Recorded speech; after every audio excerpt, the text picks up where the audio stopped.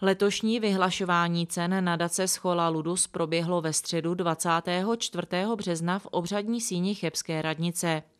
V úvodu přítomným zahrálo dechové trio základní umělecké školy a solo na bicí předvedl Luboš Odlas obřadní síni poté došlo k předání cen spojených s finanční odměnou. Jako první si pro ocenění přišlo osm žáků a absolventů základní umělecké školy v Chebu. Nguyen Trangioli za druhé místo v mezinárodní soutěži pro klavírní duo v Brně spolu s Lindou Pospíšilovou. O kvalitách bubeníka Luboše Odlase se mohli všichni přesvědčit již v úvodu akce. Cenu si odnesl za první místo v celostátním kole. Tereza Horská obsadila druhé místo také v celostátním kole.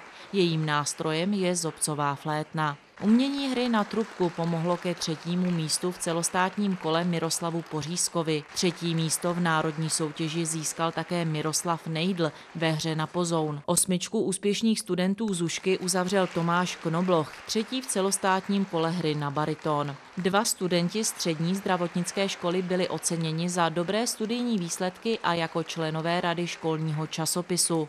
Konkrétně se jednalo o Martina Cupáka a Martina Polívku. Družstvo gymnazistů ve složení Lekvan Dung, Josef Házy a Miroslav Kozák vybojovali první místo v republikovém finále turnaje mladých fyziků. Účastnili se také celosvětového finále tohoto turnaje, kde se umístili na 18. příčce. Žačka čtvrté třídy Lea Švecová z 6. základní školy dostala cenu za první místo v krajském kole čtenářské soutěže. Pavel Sutr byl vyhodnocen jako nejlepší žák základní školy na Kostelním náměstí, kterou úspěšně reprezentuje při různých soutěžích. Třetí základní škola měla svou zástupkyni na celostátní soutěži Mladý Démostenes, která se věnuje umění komunikace a veřejného projevu. Za čtvrté místo získala ocenění Hanna Vondrášková. Dalšími třemi laureáty ceny nadace Schola Ludus se může pochlubit Svobodná chebská škola. Kateřina Erlebachová získala první místo v oblastní soutěži fyzikální olympiády.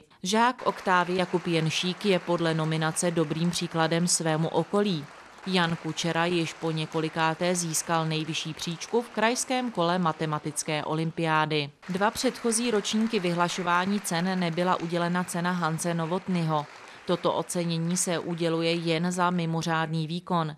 Gymnazista Aňvu Lekvy vybojoval skvělé třetí místo v celosvětovém finále astronomické olympiády v Číně jako reprezentant České republiky. Nadace Schola Ludus ocenila také dva pedagogy. Věru Šinkovou, ředitelku třetí základní školy u příležitosti 50 let v pedagogické praxi a Jindřicha Papeže ze Svobodné chebské školy za úspěchy při přípravě žáků na fyzikální olympiády. Učitel dějepisu, neúnavný organizátor celostátní soutěže, manažer školy a vedoucí nadace Gaudamus Igitur Miroslav Stulák získal u příležitosti životního jubilea cenu Hanze Novotnyho. Nadační příspěvek ve výši 15 tisíc korun obdrželo gymnázium na projekt názorné interaktivní pomůcky pro matematiku. Jako každoročně převzala ředitelka městské knihovny finanční obnos 35 tisíc korun na nákup odborné literatury. U příležitosti Českého dne učitelů